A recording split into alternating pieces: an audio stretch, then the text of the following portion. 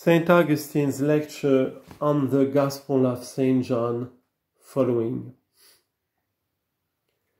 But those who received peace to proclaim it to the people have made wisdom herself an object of contemplation, so far as human hearts could lay hold on that which eye has not seen, nor ear heard, neither has ascended into the heart of man.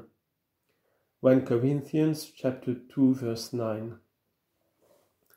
If it has not ascended into the heart of man, how has it ascended into the heart of John?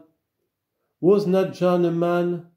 Or perhaps neither into John's heart did it ascend, but John's heart ascended into it?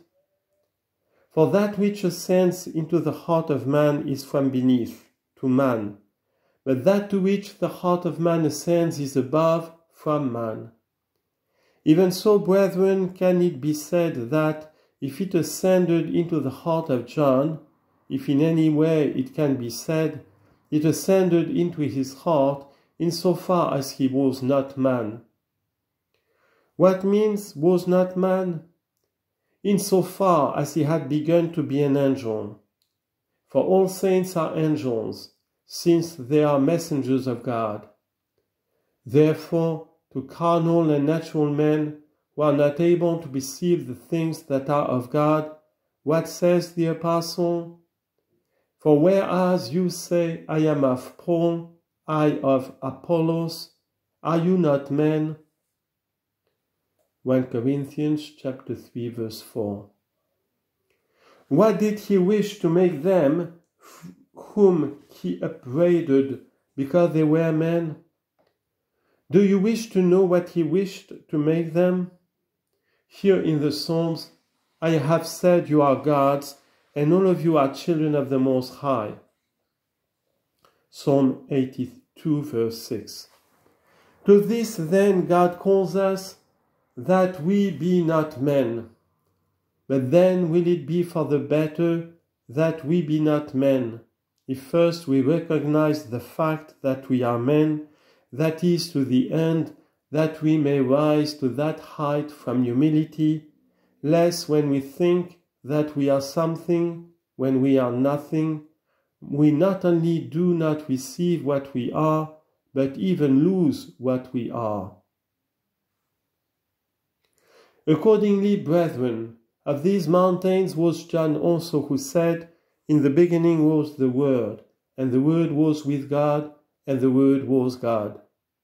This mountain had received peace. He was contemplating the divinity of the Word. Of what sort was this mountain? How lofty? He had risen above all peaks of the earth. He had risen above all plains of the sky. He had risen above all heights of the stars. He had risen above all choirs and legions of the angels. For unless he was above all those things which were created, he would not arrive at him by whom all things were made. You can't imagine what he was above unless you see at what he arrived. Do you inquire concerning heaven and earth? They were made. Do you inquire concerning the things that are in heaven and earth? Surely much more, they were made. Do you inquire concerning spiritual beings, concerning angels, archangels, thrones, dominions, powers, principalities?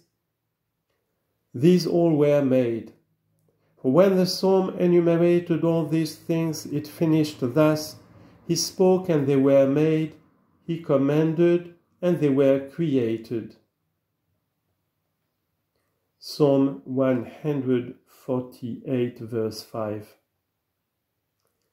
If he spoke and they were made, it was by the word that they were made. But if it was by the word they were made, the heart of God could not reach to that which he says, In the beginning was the Word, and the Word was with God, and the Word was God, unless he had risen above all things that were made by the Word. What a mountain this! How holy, how high among those mountains that received peace for the people of God, that the hills might receive righteousness? Consider then, brethren, if perchance John is not one of those mountains, concerning whom we sang a little while ago, I have lifted up mine eyes to the mountains, from whence shall come my help. Therefore, my brethren, if you would understand, lift up your eyes to this mountain, that is, raise yourselves up to the evangelist, rise to his meaning.